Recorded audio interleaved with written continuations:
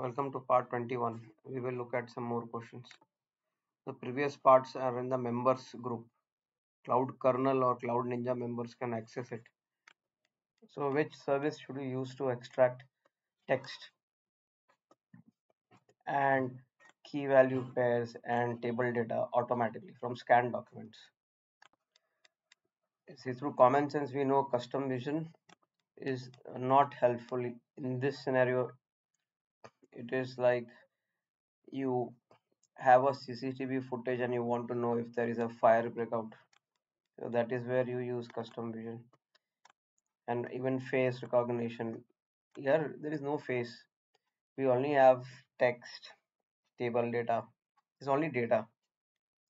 No face and no language. Nobody is telling us to tell from the scanned document which language is it written in. That is not the case.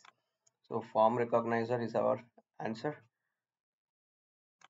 This service will help you. It is also called AI document intelligence now. So it applies advanced machine learning. How does it do it? Using machine learning. And what does it do?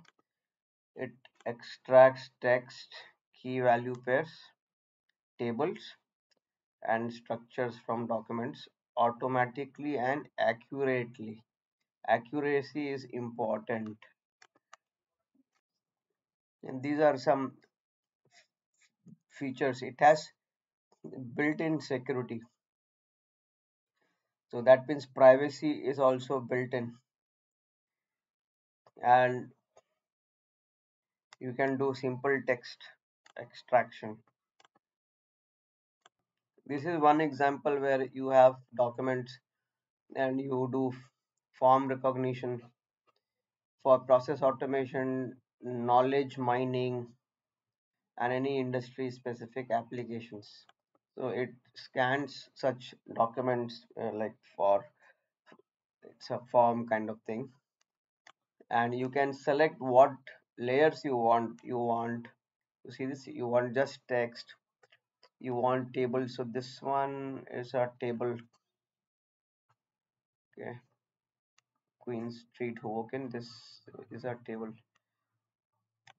This is an example of key value pair. This is the key for the quarterly period and value is 31st march. Let's say in this case you have statement of work. So you are just picking text like wherever you see contacts you want to document or extract those contacts. So once you extract it what do you do? You prepare label train analyze. So we saw how form recognizer is helpful for extracting text key value pairs table data and structures. By the way there are previous parts put for members cloud kernel and cloud ninja members can access those questions. It is important to access those to clear your certification. So which computer vision feature can you can you use to generate automatic captions for digital photographs? Suppose you have a photograph and then you say okay this is a photograph uh, of a happy child or a child playing with toys you want to put that kind of automatic caption. So vision is uh, it's all called azure ai vision and it is a computer vision for images and video analysis with ocr and ai so we have nothing to do with text or any areas of interest is also text or detecting objects. We are specifically focused on images. We are talking about images here. Who told us? Because digital photographs are images and not just objects. So you have this next one.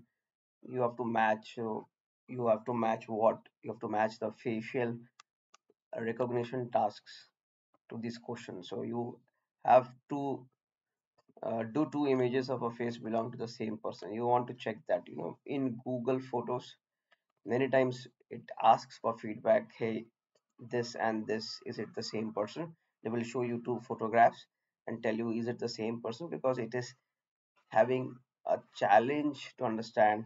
For example you have a photograph which is of your childhood so the ai gets confused and it tries to double check with you and say this and this are these the same guy.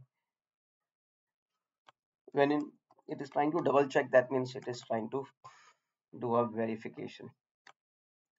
Now does this person look like other people? So for example uh, there can be a one guy tom cruise and maybe looking like someone else also. There may be similar features. So that means you are trying to do for a similarity search. You are looking for a similar feature similarity search. And then when we say okay who is this person in the group of people? Like G- google photos tells you hey this is a group photograph. I know these two guys. This guy is x this guy is y. It specifically asks you who's this guy. That means it's trying to identify who is this person. Once you say hey this is john it will remember okay this guy is john. Any photographs of his past present will be marked as john. So this would be our final answer. I hope you understood and there are previous parts uploaded for members. Cloud kernel cloud ninja members pay a small premium become a member and gain access to those questions which will help you clear certifications okay? A lot of concepts explained there as well. So if you're not yet subscribed do so. It will help you with clearing certifications. And this channel is totally about cloud certification. So this brings us to the end of part 21 i hope you understood the concepts. And do read the comments I'm posting many more parts in the members area and I uh, create short small posts there. You can also you know read that so that you get notified when we post such contents.